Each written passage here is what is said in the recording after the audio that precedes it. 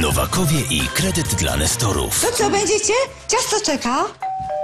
Ale zmiany. Zawsze chciałaś mieć taką kuchnię. Lubię pichcić. A skąd to wszystko? Z pocztowego? Z pocztowego wzięłam kredyt. Łatwo się spłaca, bo dla nestorów mają niższą ratę. Tak otwierają się nowe możliwości. Wiecie, emerytura to nie wszystko. No. Teraz dla Nestorów kredyt z niższą ratą, a w prezencie roczne ubezpieczenie mieszkania. Bank pocztowy na każdej poczcie.